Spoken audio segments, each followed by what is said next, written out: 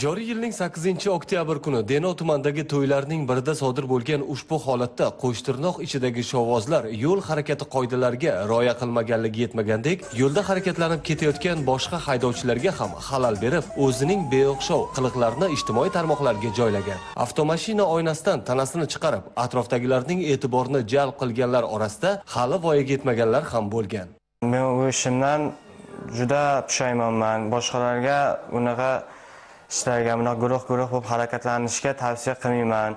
Tekshiruv ishlari olib borilganda tomosha ko'rsatganlar qilmishidan qattiq pushaymon ekanligini bildirishdi, ammo o'ylab ish qilganlarda balki bugun bu holatda o'tirmagan bo'lardi. ukamizni to'yiga borgan edik guruh bo'lib harakatlandik qilgan ishimizdan afsusdamiz yoshligimiz endi avtotransport vositamdan orqa o'rindiqda o'tirib bolalar yarim beligacha chiqarganligi tufayli keldik shu yerga qilgan ishimizdan pushaymonmiz tengdoshlarimizga bu ishni takrorlamasligini tavsiya qilamiz.